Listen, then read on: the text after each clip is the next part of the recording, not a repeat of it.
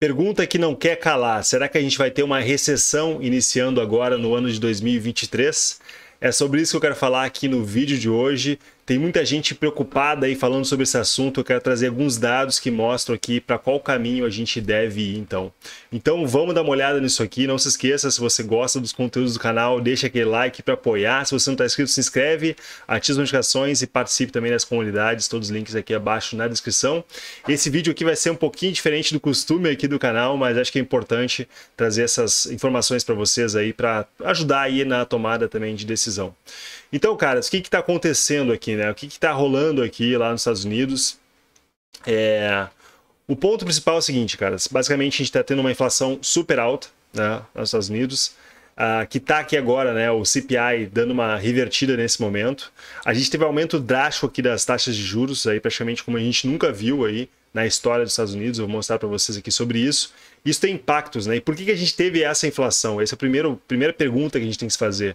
O motivo que a gente teve inflação não é por causa do, do Putin, não é por causa de guerra, não é, cara. O único motivo que a gente tem inflação lá nos Estados Unidos, inflação tão grande lá, é a impressão de dinheiro, tá? Essa é a única causa, a causa raiz de tudo é a impressão de dinheiro, como a gente nunca viu. Aqui tem um gráfico mostrando também, ó, a comparação da impressão de dinheiro aí de ano uh, de um ano contra o outro aqui. A gente tem esse gráfico aqui mostrando, a gente nunca imprimiu tanto dinheiro assim tão rápido.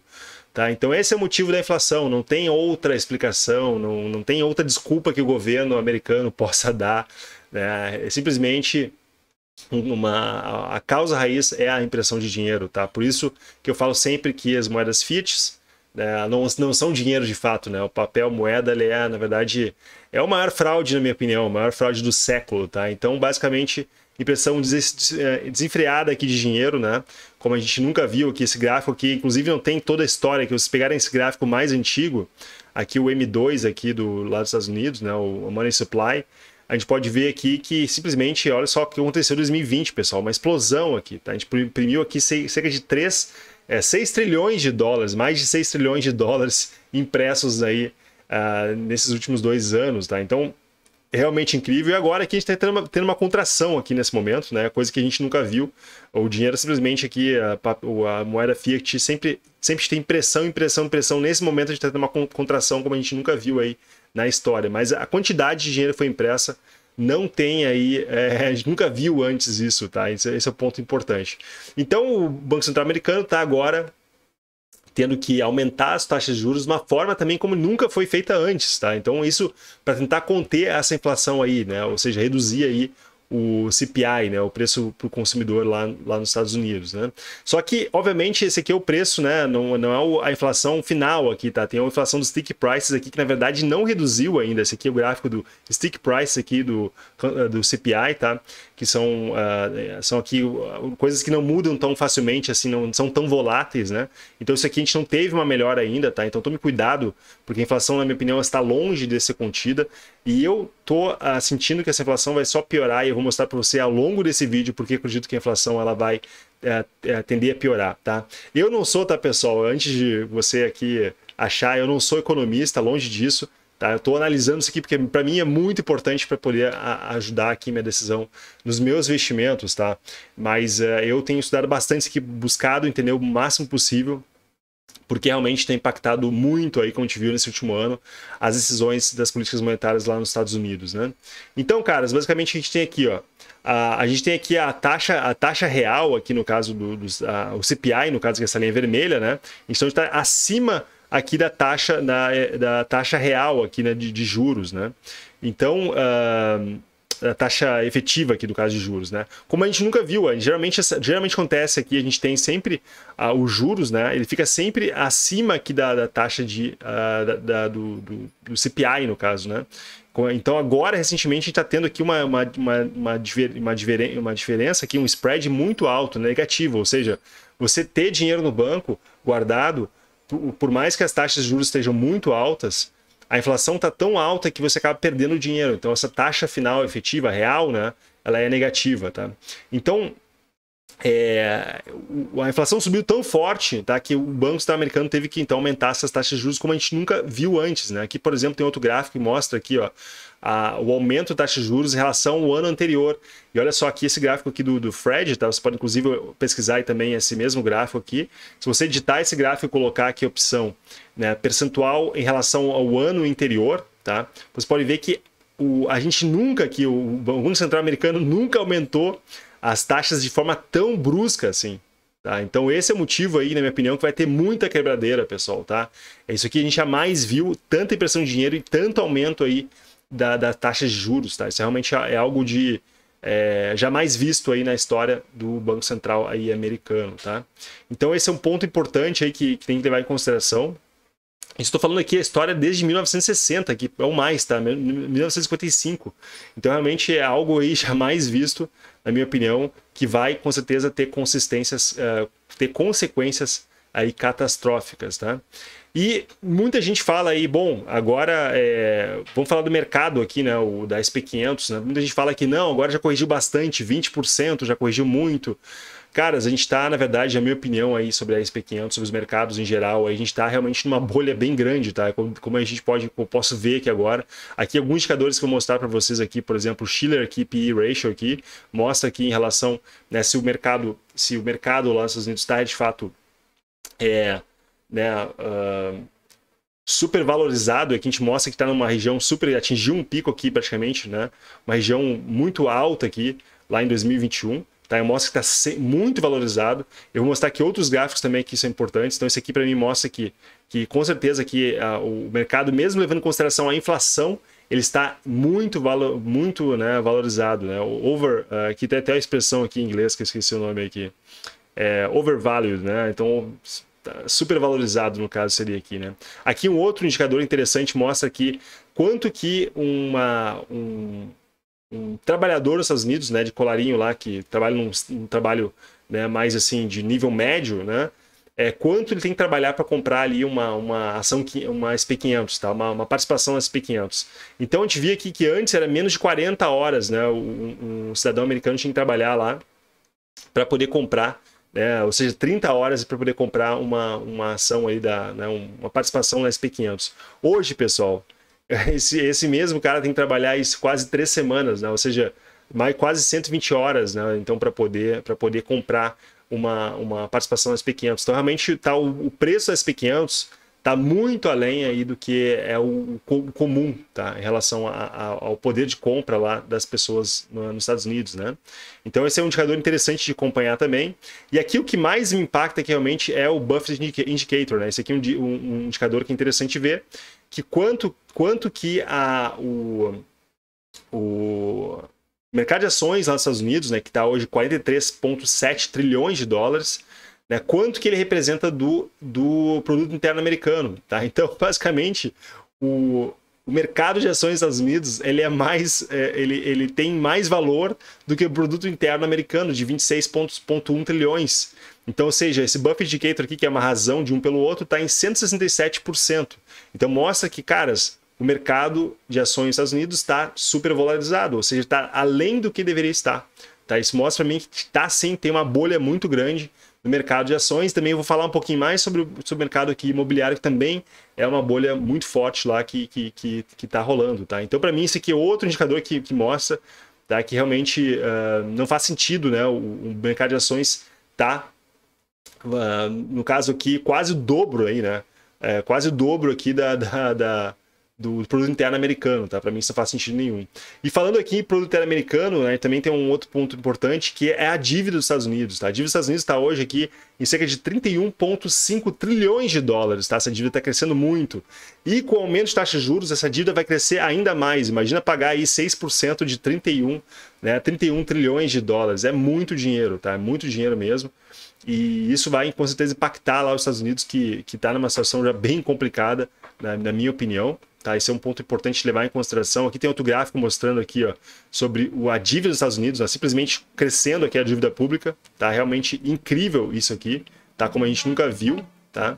Aqui tem um outro gráfico também mostrando aqui em relação a a, a dívida dos Estados Unidos, né, em relação ao produto interno americano. Então a gente pode ver que essa dívida está aqui em 120%, 121% aqui, mais ou menos, tá? Ou seja, os Estados Unidos têm, os Estados Unidos têm mais dívida do que produto interno americano. Está endividado o país lá, né? Como vários países do mundo estão endividados também, tá, pessoal?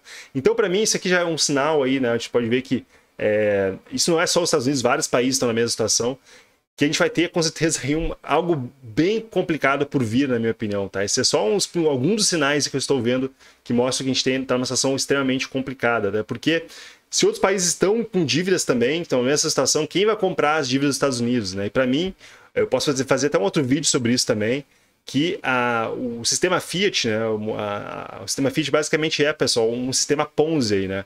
Então, quanto mais eles vão aumentando o teto da dívida, vão aumentando, ou seja, mais pessoas vão comprando a dívida dos Estados Unidos para imprimir mais dinheiro e é assim que funciona, tá?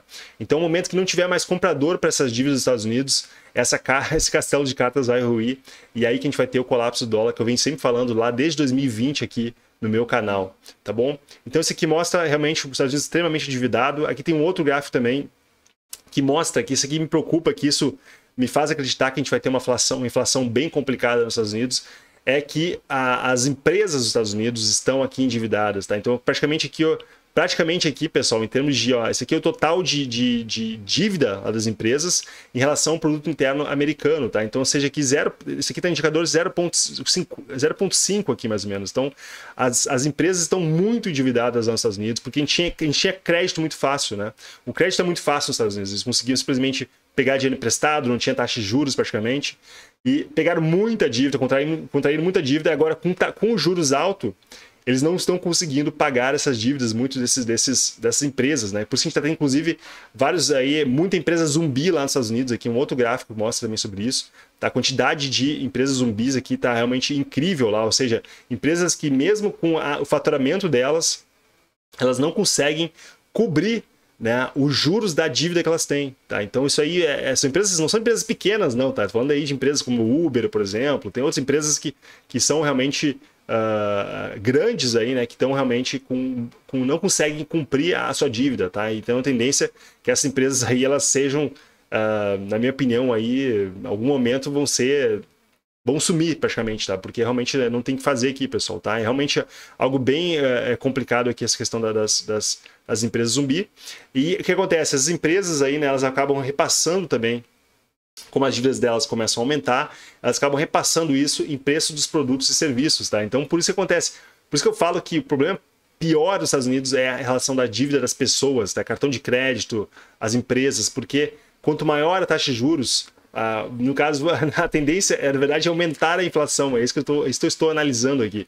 Porque ah, o objetivo das juros é conter a inflação, ou seja, reduzindo o emprego, enfim, né? Mas o problema maior, na minha opinião, é, são as dívidas das empresas e das pessoas, porque elas vão com certeza, com certeza aí, né, se endividar mais para poder pagar as dívidas que elas já têm, as empresas vão repassar isso aí nos produtos e serviços que elas estão oferecendo no mercado, tá?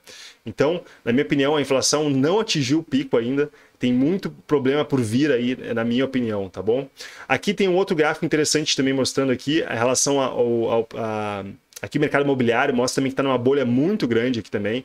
O, uh, o Schiller aqui da, do, do, Home Price Index aqui mostrando que está uma bolha muito grande também. Esse é um outro mercado que tem que dar uma, uma, uma, uma reduzida aí, tá? É um, outro, um fator importante.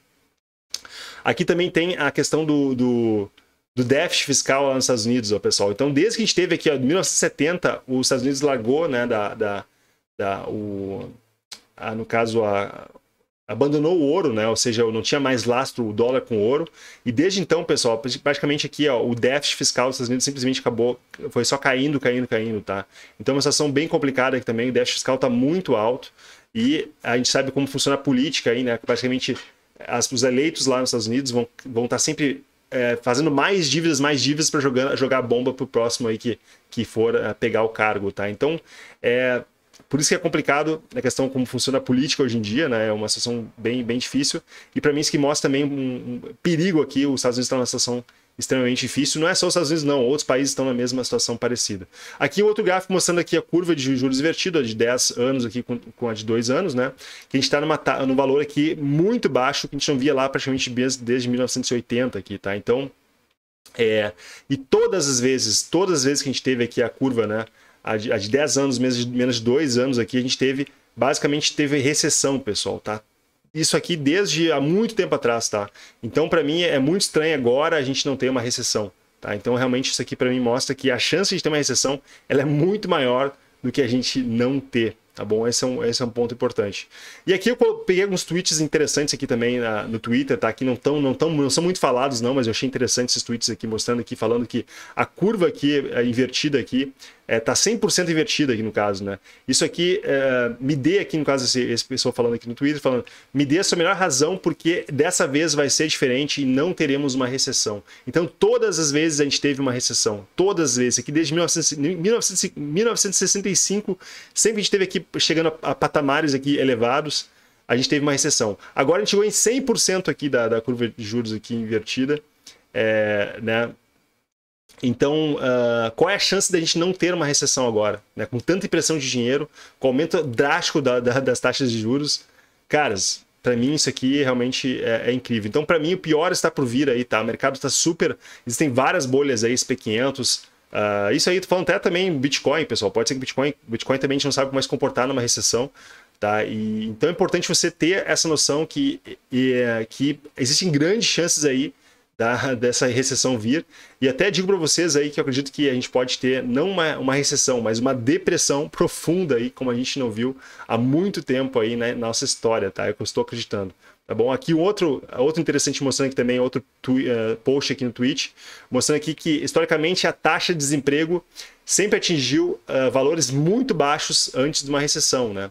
Aqui, por exemplo, também Uh, aqui o, o 10 anos aqui, né, a, a, curva de 10 anos aqui também, chegou, está uh, invertida aqui uh, se, sempre depois, logo, logo, logo antes de uma recessão. Né? Aqui no caso a gente tem os dois agora acontecendo, então a gente tem desemprego muito baixo e tem a curva é, né, invertida aqui, valores que a gente não via há muito tempo. Então, qual que é a chance de a gente não ter uma recessão? Tá? A história sempre mostrou isso aqui acontecendo. Tá? Então, qual que é a chance de a gente não ter uma recessão? Ela é muito baixa também, tá bom?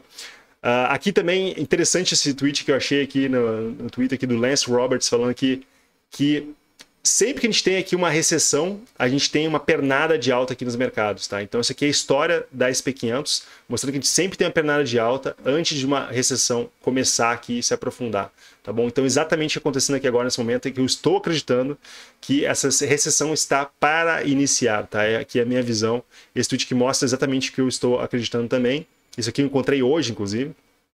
E aqui também, mostrando aqui que uh, aqui as vendas de casas lá nos Estados Unidos em dezembro aqui caíram 36% em 2022, né?